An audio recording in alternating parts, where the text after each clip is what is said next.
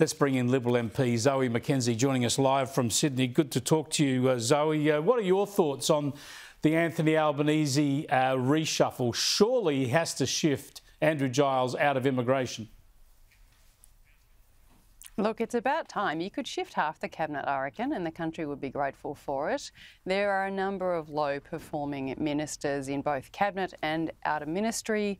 Uh, there will be an opportunity to move two. Sadly, they're both from the same faction. I'm terrible at understanding Labor's factions, but I understand it means a bunch of talent that's in different factions has got no chance to get on the front bench. So, um, you know, he's got to pick from a third of his party or whatever that left faction is, and I suspect it'll be more of the same. You did just take us through the greatest hits of Labor's failures, so Oh, let's hope there aren't any more in the future. Well, I mean, I think uh, sadly the one who's likely to stay in his current job is uh, Chris Bowen. Uh, I mean, that's a policy area where they're inflicting enormous damage on the country, but they seem to be lockstep behind Chris Bowen and this grand renewables plus storage experiment.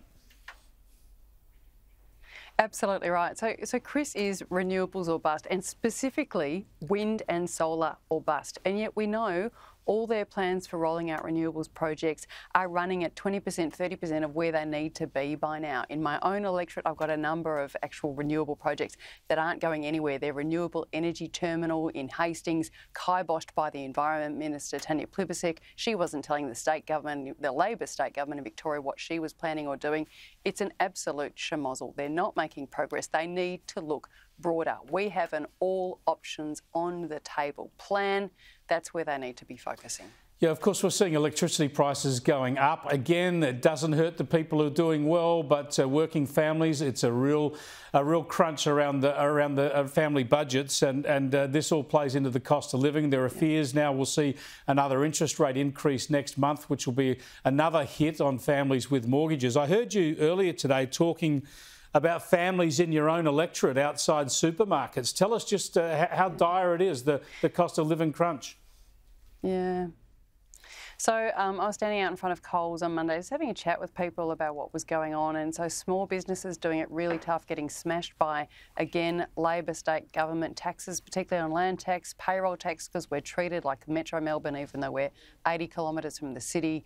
Uh, and then just the, the explosion in grocery bills. This one beautiful woman, a single mum of three kids, was taking me through her grocery basket. She said, "This has never cost me more than 200 bucks before. This is like 220. Like I hope I don't have to come back anytime soon, right?" So with teenage kids, it's just backbreaking at the moment. I've got lots of small businesses closing down. All their businesses are backed in by their home mortgage. The average home mortgage is costing $25,000 more a year just in interest repayments.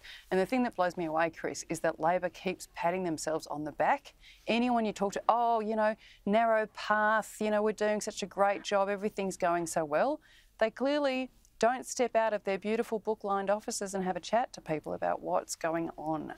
Yeah, look, I don't, let, I don't think there's anyone with a particularly good, strong story at the moment. No, it's a worry, and the great fear is it's about to get a lot worse. Now, if there's a narrow path uh, through this, let's hope Labor picks it. But I mean, if interest rates go up again, uh, uh the, the, mortgage crunch is really going to hurt.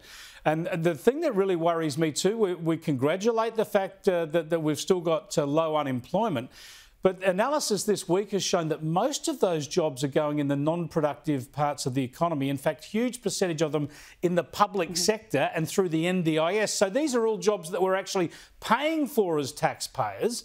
And the private economy is really suffering. That, that means that if a crunch comes, we could see drastic consequences unfold very quickly.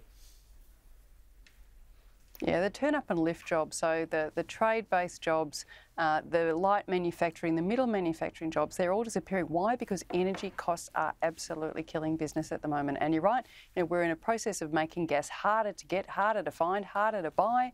Uh, and at the same time, these renewable projects aren't coming online. And frankly, lots of residents don't want these renewable projects next to them. That's not a reason not to try and um, develop the sector, we must, but we must do it in lockstep with people and, and how they live and where they go and where they want to live. And that's the problem with this plan. It's, it's their way or no way, frankly.